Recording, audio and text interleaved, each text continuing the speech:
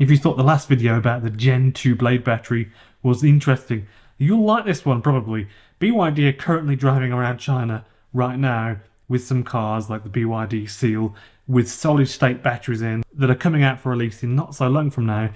So the purpose of this video is to go over what exactly we know for sure about the energy density, the weight, the charge speed when it comes to market, and to give you a broader overview of what's going on in the battery tech space with BYD cars. We've gone from 140 to 400 watt hours per kilogram in 10 years which is a 196% increase in energy density. So if anybody tells you the batteries are not good enough, it's quickly getting better.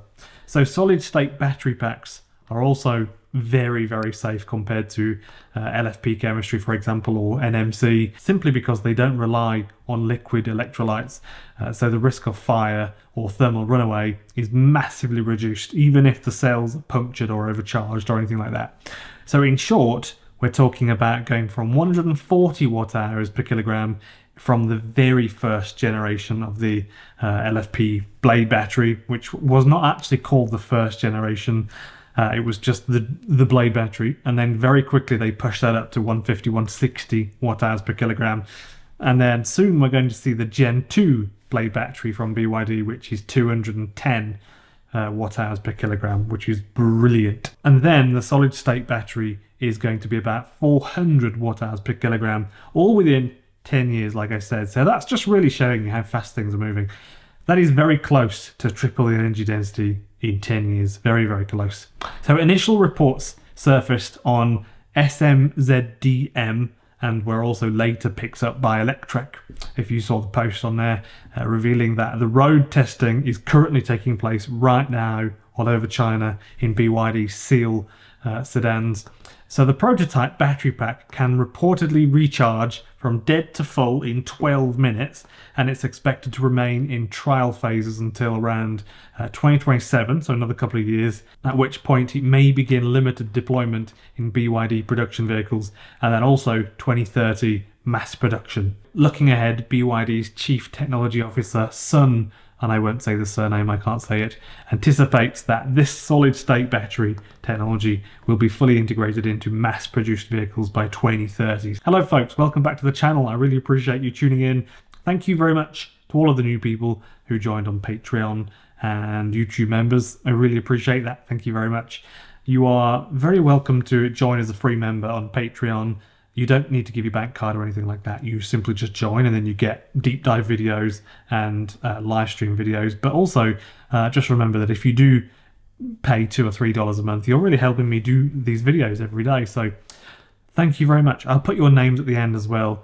Uh, in most of the videos, I think, moving on from now. A few people in one of the last videos saying I get paid from BYD, but I literally just don't.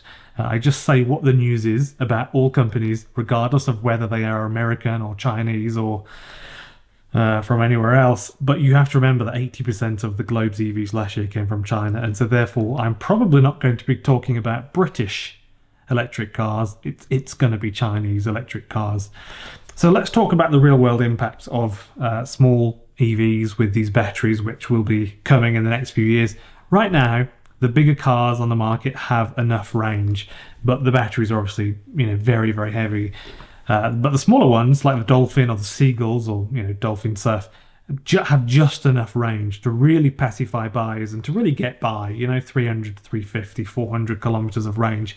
But when these new batteries come in, they will effectively double that range and then some for cars like the BYD Dolphin, Seagull, Dolphin Surf. So when manufacturers over the years saw that with cars like the Toyota Camry, Toyota Yaris, Honda Jazz, that sort of thing, they saw 600 kilometers was about fine. That's kind of enough to give everybody a bit of a buffer to do normal driving and go cross countries and that sort of thing. So that was kind of the sweet spot to stop people stressing once they bought a car. So they probably will do the same thing with electric cars when the batteries come in at 400 watt hours per kilo instead of 160 or 210.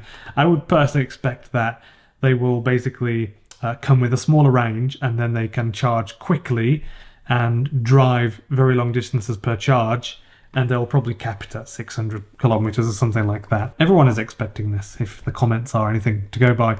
Solid state batteries have been pushed back and back and back. Also, infamously, Toyota with their tweets. I think 2009, 2011, 2013, 2017, they were literally saying that solid state batteries are coming next year, and they were just never coming.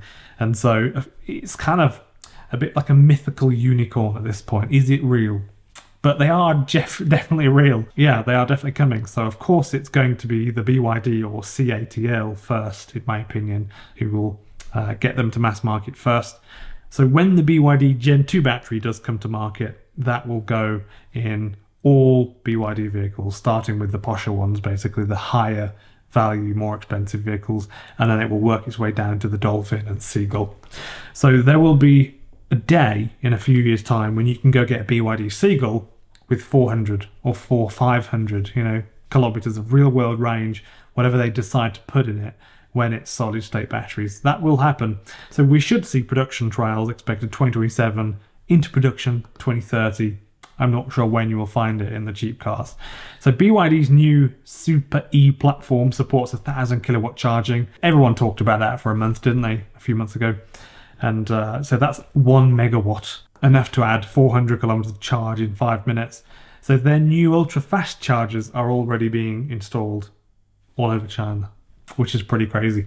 If we take the weight of the Dolphin battery, for example, this is an interesting thing to think about 44 kilowatt hours of battery from the Dolphin, roughly 280 or so kilograms of weight for the cells in that battery.